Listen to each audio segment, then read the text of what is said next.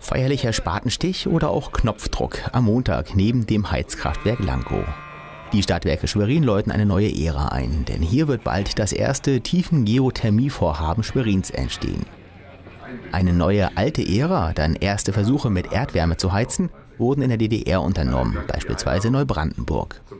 Heute soll das Vorhaben zum Meilenstein zur Erreichung der Klimaziele der Landeshauptstadt werden, denn der CO2-Ausstoß kann so um rund 6700 Tonnen jährlich reduziert werden. Die letzten großen Investitionen war eigentlich 2007 unsere Biogasanlage. Das waren knapp 9 Millionen, 9,5 Millionen. Äh, wir haben die letzten Jahre in mehreren Tranchen 4,5 äh, Millionen in äh, Solaranlagen investiert. Also das ist nicht etwas, was uns Angst macht. Das ist durchaus normales Geschäft. Aber das hier ist natürlich insbesondere im Hinblick auf die bestehenden KWK-Anlagen natürlich schon ein Stück Zukunft. Wir werden hier die Anlagen mit dieser, mit dieser tiefen Geothermieanlage teilweise auch ersetzen.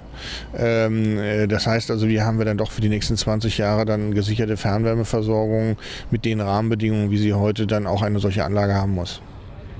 Das Baugebiet wird nun erschlossen und schon bald wird dort der Bohrturm errichtet werden. Einen ausführlichen Bericht zum großen Bauvorhaben der Stadtwerke sehen Sie am Freitag hier bei TV Schwerin.